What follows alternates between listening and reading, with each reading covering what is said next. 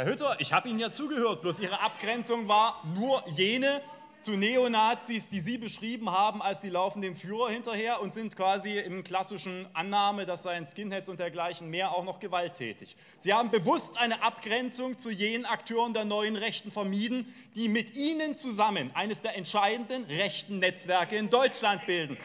Natürlich sind Herr Hütter, sind denn Identitäre, sind denn Identitäre, die von Ihrem Bundestagsabgeordneten beschäftigt werden, keine Rechtsextremen? Diese Frage sollten Sie sich stellen, wenn Sie rechtsextreme Netzwerke bekämpfen wollen.